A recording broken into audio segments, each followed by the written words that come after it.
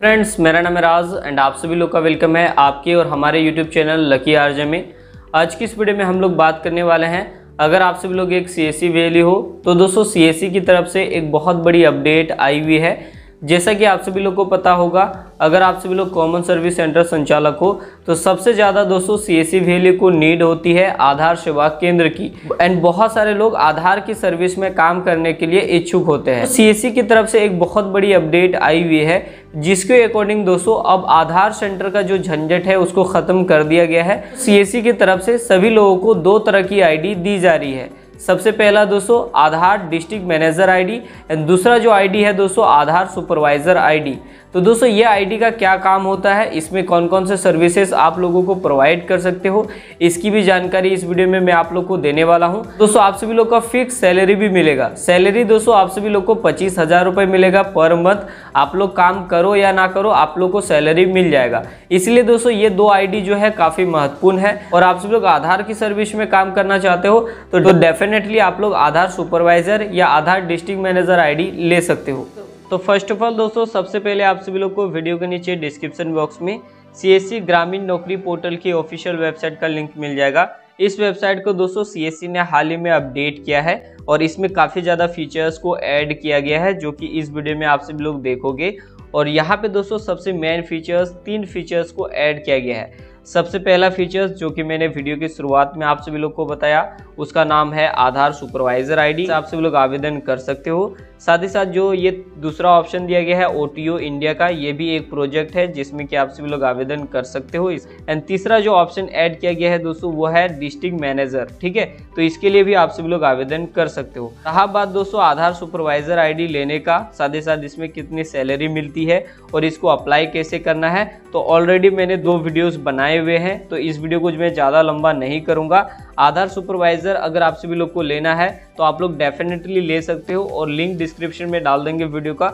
उस वीडियो को आप लोग ज़रूर वॉच कीजिएगा आप लोग को कंप्लीट जानकारी मिल जाएगा आधार सुपरवाइजर से रिलेटेड आज की इस वीडियो में मैं आप लोग को बताऊँगा ये नया जो फीचर है डिस्ट्रिक्ट मैनेजर का तो इसके लिए मैं आप लोग को बताऊँगा ठीक है? तो यहाँ पे आप सभी लोग अप्लाई के ऑप्शन पे क्लिक करोगे बेसिकली दोस्तों, ये क्या है? चलिए मैं आप लोग को बता देता हूँ। कि आप सभी लोग को भी पता है दोस्तों कि आप लोग जब भी आधार सेवा केंद्र ओपन करते हो तो आप सभी लोग को अप्रूवल लेना पड़ता है आधार डिस्ट्रिक्ट मैनेजर से।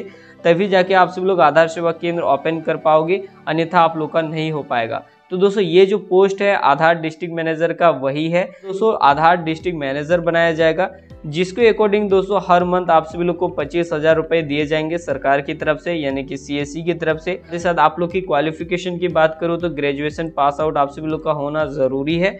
साथ ही साथ आप सभी लोग को टू ईयर का एक्सपीरियंस भी होना ज़रूरी है। दोस्तों कौन कौन से स्टेट और कौन कौन से डिस्ट्रिक्ट में दोस्तों, अभी आधार डिस्ट्रिक्ट मैनेजर के लिए अप्लाई हो रहा है, उसकी लिस्ट भी यहाँ पे दी गई है। अगर दोस्तों आप सभी लोग ये फुलफिल कर देते हो तो यहाँ पे आप सभी लोग को टर्म एंड कंडीशन को एक्सेप्ट करना है और यहाँ पे एक्सेप्ट के ऑप्शन पे क्लिक कर देना है। यहाँ पे दोस्तों आप सभी लोग को अपना कॉन्टैक्ट नंबर यानी कि मोबाइल नंबर डालना है, अपना ईमेल आईडी डालना है, अपना पर्सनल डिटेल्स में अपना फ़र्स्ट नेम मिडिल नेम और लास्ट नेम डालना है। यहाँ से आप सभी लोग अपने जेंडर को चूज़ करोगे और डेट ऑफ़ बर्थ को यहाँ से आप सभी लोग चूज़ करोगे। करेंट एड्रेस में दोस्तों, यहाँ पे आप सभी लोग को अपने जो भी स्टेट है, उस स्टेट को सिलेक्शन करना है। फ़िलहाल दोस्तों, इतने ही स्टेट को ऐड किया गया है। मे भी दोस्तों, आने वाले दिनों में और भी बहुत सारे स्टेट ऐड हो जाएँगे। अब यहाँ से आप सभी लोग को डिस्ट्रिक्ट को चूज़ करना है। आप लोग को अपना हाउस नंबर चूज़ करना है और यहाँ पे आप सभी लोग को अपने विलेज का सिलेक्शन कर लेना है। एजुकेशन क्वालिफिकेशन आप सभी लोग को डालना है। तो एजुकेशन में दोस्तों, आप सभी लोग को मिनिमम ग्रेजुएशन होना चाहिए आप सभी लोग का। तभी जाके दोस्तों, आप सभी लोग आधार डिस्ट्रिक्ट मैनेजर के लिए आवेदन कर सकते हो।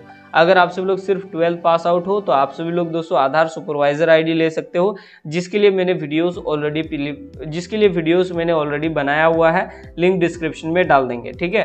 अब एजुकेशन की बात करो तो यहाँ से आप सभी लोग देख सकते हो कि कौन सा कोर्स आप सभी लोगों ने किया है, उसको यहाँ पे बेसिकली आप सभी लोग को सिलेक्ट करना होता है। अब यहाँ पे एक्सपीरियंस की बात करूँ तो अब मैंने जैसे कि आप लोग को बताया कि टू ईयर का एक्सपीरियंस भी आप लोग का होना चाहिए, कोई भी आईटी कंपनी में काम करने का।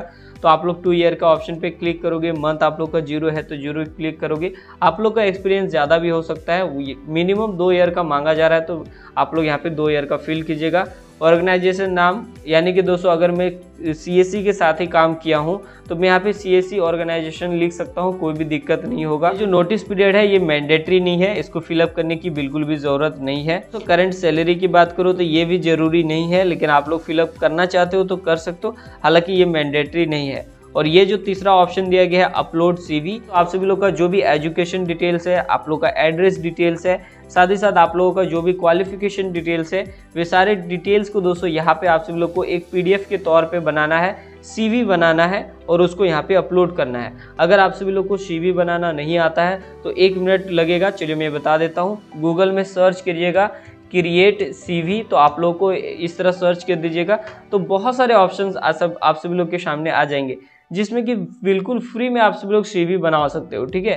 दो मिनट लगेगा, आप लोग अपनी एजुकेशन डिटेल्स फिल करोगे, अपना नाम, अपना एड्रेस, अपना कॉन्टैक्ट डिटेल्स ये सारी चीज़ों को एक सी में मर्ज करोगे पीडीएफ में बनाओगे और उस पीडीएफ को यहाँ पे अपलोड कर दोगे और टर्म एंड कंडीशन को एक्सेप्ट करोगे और रजिस्टर्ड पे क्लिक कर दोगे। रजिस्टर्ड के ऑप्शन पे क्लिक करने के बाद दोस्तों, अगर आप सभी लोग की सारी डिटेल्स सही रहती है तो आप लोगों को दोस्तों एक छोटा सा इंटरव्यू लिया जाएगा एंड इंटरव्यू में सिलेक्शन हो जाने के बाद आप सभी लोग को दोस्तों आधार डिस्ट्रिक्ट मैनेजर के पद पे नियुक्त कर दिया जाएगा। एंड हर मंथ दोस्तों आप सभी लोग को पच्चीस हज़ार मिलेंगे। एंड आप लोग के एरिया में जितने भी आधार सेवा केंद्र ओपन किए जाएँगे आप लोग के परमिशन के बगैर ओपन नहीं होंगे। तो दोस्तों, ये ग्रेट अपॉर्चुनिटी है तो आप सभी लोग अगर आधार डिस्ट्रिक्ट मैनेजर बनना चाहते हो तो डेफिनेटली आप लोग यहाँ पे बन सकते हो। रहा बात दोस्तों, आधार सुपरवाइजर के बारे में तो अप्लाई के ऑप्शन पे क्लिक करोगे।